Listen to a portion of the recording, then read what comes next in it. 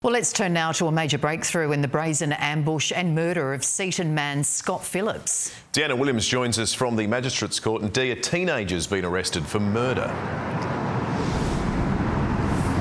That's right, Will. Major crime detectives swooped this morning, taking a 19 year old man into custody, and he appeared before a magistrate late today where officers sought a secrecy order on his name and image.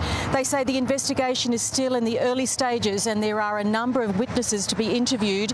19 year old Scot Phillips was fatally stabbed on the doorstep of his home on Tuesday evening. Police believe the victim and his accused killer were known to each other and say it was a planned attack the power to Scot Phillips' house was cut before he was ambushed. The suspect didn't apply for bail today. The court heard investigators need at least 12 months to gather evidence in this case, including toxicology and DNA reports. Scot Phillips' twin sister has told 7 News her brother was smart, funny and kind and would do anything for her. The accused man didn't speak during the short hearing. He's due back in court in September next year.